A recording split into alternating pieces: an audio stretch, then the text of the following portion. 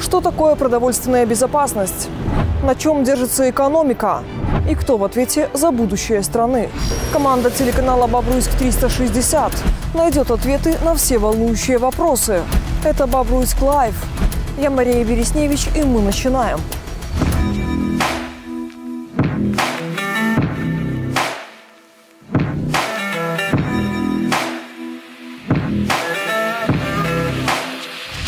Какие эмоции лично вы испытываете, когда тот самый спортсмен и есть выпускник Бобруйского училища Олимпийского резерва? Честно говоря, даже непередаваемые. Огромная плеяда э, призеров Олимпийских игр и чемпионов Олимпийских игр. В этом году исполнится 20 лет, как вы стоите у руля Бобруйского ОРа. В одном режиме работаем и выполняем свою одну основную задачу. Каждый спортсмен обходится для государства до 3000 э, долларов в год. Как распознать спортивный талант? Слаженная работа тогда приносит результат. Учиться здесь классно, круто. Павел Дмитриевич, здравствуйте. Э, Ни один посол не сможет представить нашу страну на международной арене лучше, чем спортсмен, который поднимается на пьедестал в тот момент, когда звучит гимн Беларуси. Какие эмоции лично вы испытываете, когда тот самый спортсмен и есть выпускник Бобруйского училища Олимпийского резерва? Через 4 года моей работы в училище, 2008 год незабываемый, олимпийский чемпион и рекордсмен Арямнов Андрей, потом братья Богдановичи. Ну, честно говоря, даже непередаваемые, как это э, к своей даже деятельности по-другому относишься, что даже вот э, олимпийские чемпионы, которые э, аплодируют весь мир. Потом 2016 год Дарья Наумова, которая первую медаль в копилку несла сборной олимпийской, именно сборной Республики Беларусь, Первая медаль серебряная, медаль по сумме двоеборья в тяжелой атлетике в Бразилии. Училище и город Бобруйск представляет на таком, на самом высочайшем спортивном уровне. В этом году исполнится 20 лет, как вы стоите у руля Бобруйского ОРа. А что изменилось за эти годы в учреждении? Жаль, у нас ушла э, Эдита Эдуардовна Гурская. Это было Бобруйск, школа металь, метаний звучал. Павел Лыжин на слуху даже э, по настоящее время. Преемница Елена Владимировна Теплякова. Вот с каждым годом рост результатов ее учеников есть. Постоянно в одном режиме работаем и выполняем свою основную задачу подготовка спортивного резерва. Это осталось да, так, неизменным. Да. Случайная команда под вашим руководством а, открыла целую плеяду олимпийских мировых чемпионов, а также призеров различных первенств. Как распознать спортивный талант? Ну, я откровенно скажу, что спортивный талант – это даже и учитель физкультуры видит этот та талант, а, даже, то есть, который квалифицированный спортивный работник. Обычный учитель физической культуры школы видит это. Ну, а тренерское мастерство, вот этот талант – сохранить, направить, даже, можно сказать, и удержать в спорте. Это вот большая э, вот, тренерская работа вот в этом направлении.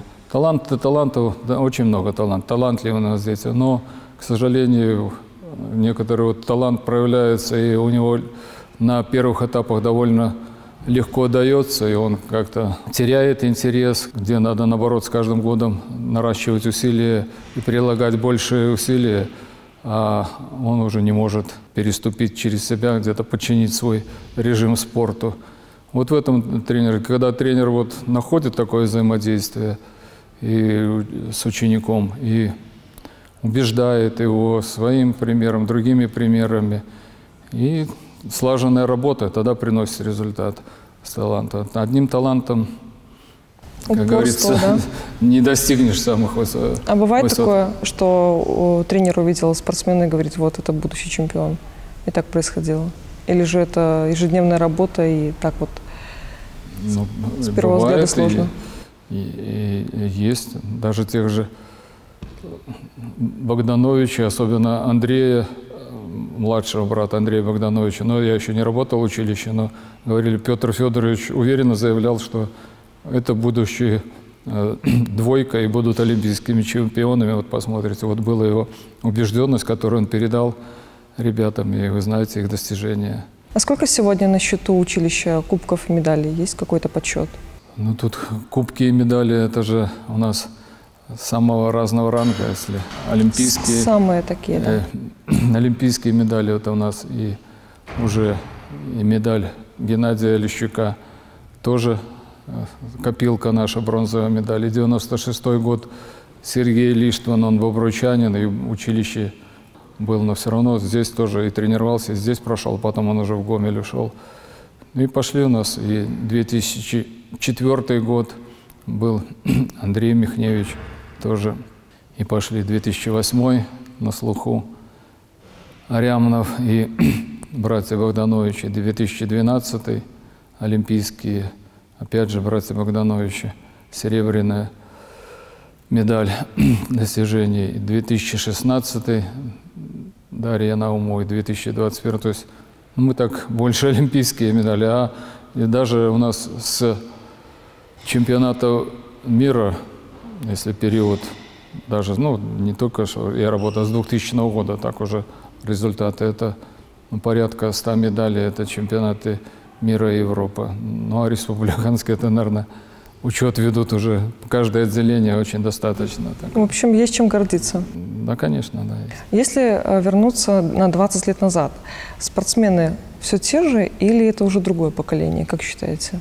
Ну, поколение сменилось, более цифровизо цифровизованные они дети, да, все, как мы говорим, доступные гаджеты все, э, они вот в этом отношении отличаются значительно. А в остальном, я бы не сказал, они отличаются. Но это и какой-то, можно сказать, минус в том, что за этими всеми гаджетами время летит, даже по себе знаешь, вот, а бах, и час, и два проходит незаметно. И вот это у них тоже проблема есть.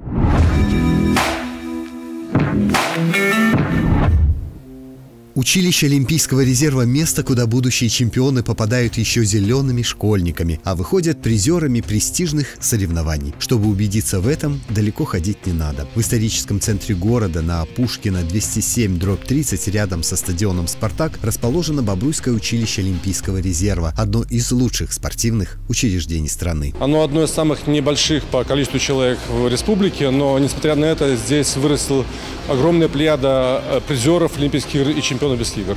По гребле, штанге, борьбе, метанию. Очень много топовых спортсменов выросло в этом стенах этого училища. Здесь повышает свое спортивное мастерство учащиеся по 12 видам спорта. Тяжелая и легкая атлетика, гребля на байдарках и каноэ, вольная и греко-римская борьба, бокс, гимнастика, дюдо, самбо, плавание, стрельба из лука, гандбол, футбол. Сейчас в училище обучается 232 будущих чемпиона. Учебно-тренировочный процесс обеспечивают 23 тренера-преподавателя.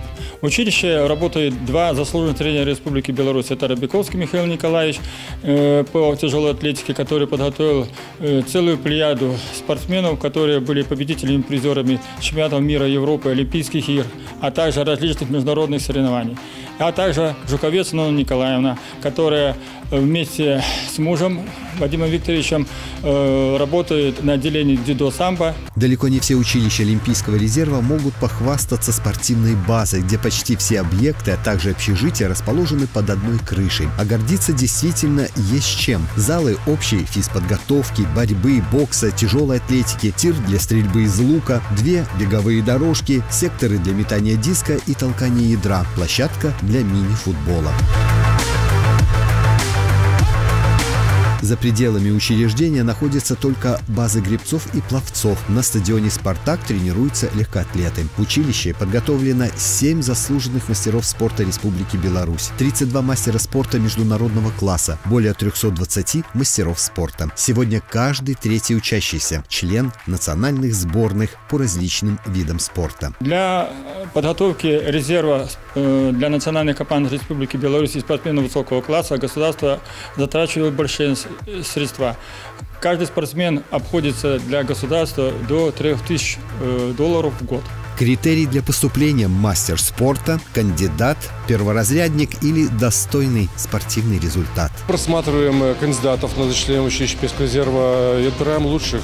Они проходят медосмотр, э, проходят организовать типа установочного сбора на базе училища несколько дней, здесь живут, учатся, и потом по результатам тестирования мы выбираем лучших. Дисциплинированные, целеустремленные и самостоятельные. Несмотря на то, что для ребят спорт на первом месте, два раза в день, утром и после обеда, они садятся за парты. Ребята, какую тему на прошлом уроке мы с вами изучали?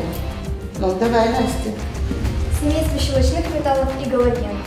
Даже во время сборов они не расстаются с учебниками, решают задачи по химии, читают произведения по программе. Выполнение обязательно проверяется. Если проштрафился, очередная выездная тренировка уже под вопросом. После сборов они приезжают, сдают в индивидуальном порядке. Это даже может быть и на каникулах. То есть э, некоторым учащимся, которые усиленно тренируются, готовятся. В основном это отделение гребли, они очень часто у нас уезжают. Отделение тяжелой атлетики, но э, таким учащимся в любом случае идем навстречу, даем задания и ждем уже, они приезжают со сборов, все это сдают, выполняют. Принимают сюда ребят, начиная с восьмого класса. Помимо среднего образования, они могут получить и специальное. После 11 классов учащиеся, которые имеют э, хорошие результаты э, в спорте, средний балл аттестата не ниже 6, они могут э, сдать э, нормативы и пойти учиться на вторую ступень. Это среднее специальное образование, получить специальность тренерская работа с указанием вида спорта. Юные спортсмены здесь не только учатся, тренируются, но и живут. Гонболистка Анастасия Клавсуть из Кареличи за полгода привыкла к ритму жизни по расписанию. Появились новые друзья. Учусь тут с 1 сентября. Условия здесь очень приятные. Учиться здесь классно, круто. Все хорошо. С нового учебного года Бобруйск стал вторым домом и для россиянки Софии Горогонич. В светлой четырехместной комнате она с подружками строит планы на будущее. Сама с Ленинградской области, город Волхов. Беларусь мне нравится, я занимаюсь гандболом. Все прекрасно, мне нравится. Недавно были родители, им очень понравились условия, они очень всем довольны. Да и кормят будущих олимпийских чемпионов неплохо, как признаются сами ребята, по-домашнему вкусно. После усиленной тренировки учебного процесса мы восстанавливаем свои силы в столовой. Питание здесь очень сбалансированное и все по-домашнему. Мы привыкли воспринимать спорт как соревнование. Болеем за своих, радуемся их победам, вместе переживаем поражение. На самом деле это лишь финальная часть системной работы. Особенно хороший стимул добиваться результатов, когда рядом с тобой на ковре подготовку к серьезным стартам ведет заслуженная серебряная медалистка Олимпийских игр в Токио Ирина Курочкина. Она готовится для начала к чемпионату Европы. Он стартует 12 февраля в Румынии, Бухаресте. Мы работаем со всеми, стараемся вырастить чемпиона. К сожалению, не все могут стать чемпионами, но мы к этому стремимся. Наверняка из этой группы удивительно разных, но одаренных молодых людей, что отчаянно работают сегодня в клинче и на ринге, ринге, в тренажерном зале и просто над собой вскоре вырастет новая достойная чемпионская смена. Если, конечно, они будут соблюдать основные правила Олега Корякова, мастера спорта Советского Союза. Первое – быть верным самому себе и любить дело, которым занимаешься. Второе – уважать себя и свое время, отсечь соблазны и искушения. И третье – всецело посвятить себя делу и самодисциплине. Две тренировки в день, круглый год, постоянные соревнования, выезды, сборы. Они настоящие профессионалы. Здесь все поставлено так, чтобы на достижение результата. Но прежде всего здесь гордятся спортивными достижениями своих воспитанников. По итогам Олимпийских игр 21 века Бобруйское училище Олимпийского резерва по количеству подготовленных призеров занимает третье место среди подобных учреждений. Самые известные выпускники – Виктор Рынейский, Андрей Михневич, Геннадий Олещук, Андрей Арямнов, Павел Лыжин, Александр и Андрей Богдановичи, Игорь Боки, Александр Жуковский, Николай Новиков, Ванесса Колодинская, Дарья Наумова и Алексей Мжачек.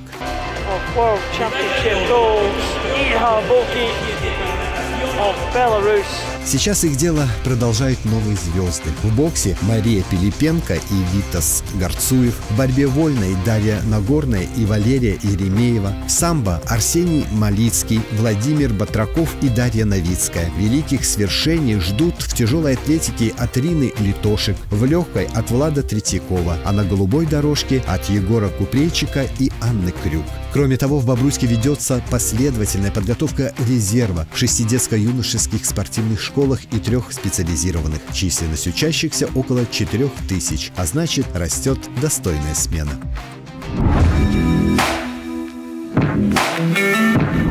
Что нужно для того, чтобы поступить в училище? Определенный уровень спортивной подготовки по каждому виду спорта. Какой, на ваш взгляд, э, внимание уделяет государство развитию спорта? Успешный человек – это здоровый, подтянутый. Какой лично вы предпочитаете вид спорта? Приспособил перекладину, упражнения на перекладине, отжимания, приседания. Что нужно для того, чтобы поступить в училище? Ну, для поступления в училище нужно уже пройти определенную спортивную подготовку. Желательно, ну не желательно, а проходят у нас все на спортивных школах. Определенный уровень спортивной подготовки по каждому виду спорта есть нормативы, которые должен уже освоить по специальной физической подготовке, по общей физической подготовке, результаты на соревнованиях, соревновательная практика – ну и критерии отбора тоже есть, которые должны соблюсти. То есть наша минимальная задача – это а спортсмен высокого класса, согласно закону физической культуры и спорта, это мастер спорта, спортивное звание. Ну и резерв национальных команд. Но в то же время и если мы говорим видение тренера, видение, то есть был, например, парень, даже не занимался спортивной школой, но в силу своих физических данных, то тоже для таких не закрыта дорога училища. То есть согласовываются, принимаются и тоже растут в спорте. Какое, на ваш взгляд, э, внимание уделяет государство развитию спорта? Это и количество спортивных объектов, которых увеличивается с каждым годом. И в нашем городе какие значимые спортивные объекты построены всех на, слуху. Ледовый дворец – в этом году обязательно будет, я уверен, построена и, и грибная база, и универсальный спортивный зал с бассейном, и который у нас есть, спортивное сооружение постоянно поддерживается в рабочем, так сказать, состоянии для занятий спорта и открыты не только для занимающихся, которые спортивных школ, но и для желающих организованных групп работников города, да, или всех любителей спорта. Если государство идет навстречу, то людям остается только немножечко приложить усилий, да, чтобы тоже в том числе быть здоровыми, спортивными. Ну да, успешный человек, я думаю, все больше в обществе, в, наш, в нашем белорусском понимании приходит, успешный человек – это здоровый, подтянутый, физически развитый. И это тоже, говорится, я приветствую. И ну, видно, что это увеличивается, увеличивается количество даже вот при посещении даже объекта, вот сколько любителей занимаются, приходит понимание этого, что заботиться о своем собственном здоровье именно посредством занятия спортом, ну, физической культурой, можно сказать, даже если более точно. Ну. Почему именно спорт? Я знаю, что планы на жизнь у вас были немножечко другие. У меня такой этап жизненный, что поступил в Полоцкий лесной техникум. Но это, честно говоря, такое спонтанное решение близко к дому. Этап этот, как раз я считаю, существенную роль сыграл в жизни, потому что у нас очень увлеченный был руководитель физического воспитания. Мы там постоянно спартакиада между группами, между курсами – спортзал в открытом доступе да, с утра до вечера. Ну, он понимал, наверное, что работник лесного хозяйства должен физически развит был. Ну и свое внутреннее какое-то было интерес. Э, библиотекарь знала, что мои газеты «Физкультурник Беларуси», Беларуси в то время, советский спорт. Все, что касаемо спорта, меня интересовало. И где-то даже к окончанию техникума я уже задумался, что надо, наверное, спортивное образование приобрести, скорее всего. Ну, а потом служба в советской армии ну, более уже, как сказать, убедила меня в этом, потому что там я учебной роте прошел обучение, учебка военной специальности. Радист, просто радист, как говорится. Но потом меня оставили командиром отделения учебной роте, а на командир отделения проводит занятия и физическая подготовка, и строевая подготовка, То есть на командира отделения сержанте это его обязанность и с отделениями, и со взводом, то есть даже и до 30 человек. Ну, я, как говорится, убедился, что у меня это получается, мне это интересно, и после армии осознанно, которые многие даже удивляются, и по сей день, что я именно что уже после службы в советской армии поступил на стационар Могилевский факультет физического воспитания пединститута в то время имени Кулешова. Ну вот так сложилось, о чем, честно говоря, и не жалею нисколько. Павел Дмитриевич, вы в прекрасной физической форме. Я думаю, что это прекрасный пример для ваших воспитанников. А какой лично вы предпочитаете вид спорта? Два раза в неделю плавание. Остальное время даже не в тренажерный не зал. Я считаю, что дома, даже у меня в стандартной двухкомнатной квартире, мне достаточно места приспособил перекладину, упражнения на перекладине, отжимания, приседания. Ну, такая определенный комплекс такого рода ежедневно, утром, а могу даже и вечером еще. Считаю, что наоборот с возрастом еще больше этой двигательной активности нужно уделять. А есть ли место вредным привычкам в жизни спортсмена? И можно ли себе иногда давать слабинку, как считаете? В жизни спортсмена, который нацелен на высокий результат, их не может быть, которые мы называем вредные привычки, по простым, я считаю, физиологическим особенностям организма любого человека. Потому что во время тренировки, которая планируется, планируется нагрузка, то есть организм спортсмена получает эту нагрузку, которую он, можно сказать, простым языком должен переварить, освоить, и чтобы выйти, подойти к другой, уже к другой тренировке, уже ну, полностью готовым, восстановленным. А если еще нагружаем то, что мы говорим, курение и алкоголь, то он просто не организм не, как говорится, перегружен этим всем, и поэтому он не может последовательно повышать свои спортивные результаты. Что общего между понятием спортсмен и патриот? Ну, спортсмен и патриот – это уже неразделимые понятия, потому что именно в любом виде спорта уже у нас международная арена представляет уже не только себя, свои достижения показывает, но представляет страну, которая растила этого спортсмена, способствовала, все условия создавала. Каким вы видите ОР завтра и есть ли планы развития? Есть стремиться к чему? К лучшему. Что нужно улучшить? Это э, материальная база и общежитие, и учебного корпуса вот такого.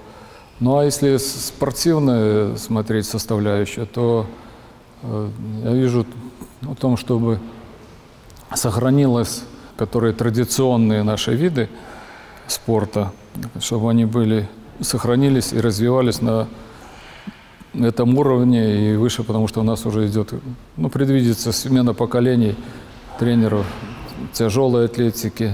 Я думаю, сохранится это Михаил Николаевич. 70 лет он работает. Гребли у нас, да, смена поколений уже, можно, прошла, но наши тренеры молодые тоже, я считаю, ну, держат эту планку. Ну, а для учащихся, еще раз скажу, что для этого надо в первую очередь подчинить свой режим ежедневный, всех, как говорится, соблазна юности, наш, вот это, если хочешь стать спортсменом, от них отказаться. И тогда все остальное складывается. Ну, где-то везение должно быть, но в первую очередь вот это. Осознать, починить, что только так можно достичь, подняться по ступеням мастерства на самую высокую его, на пик. И тогда получается.